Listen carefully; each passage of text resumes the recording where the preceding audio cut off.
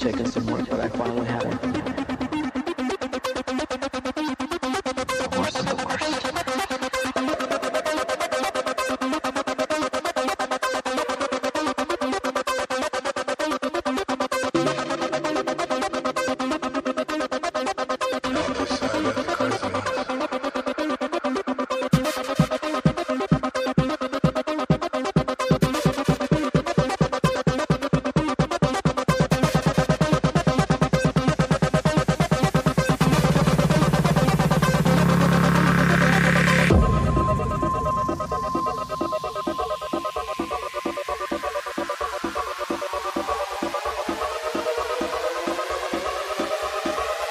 really, really.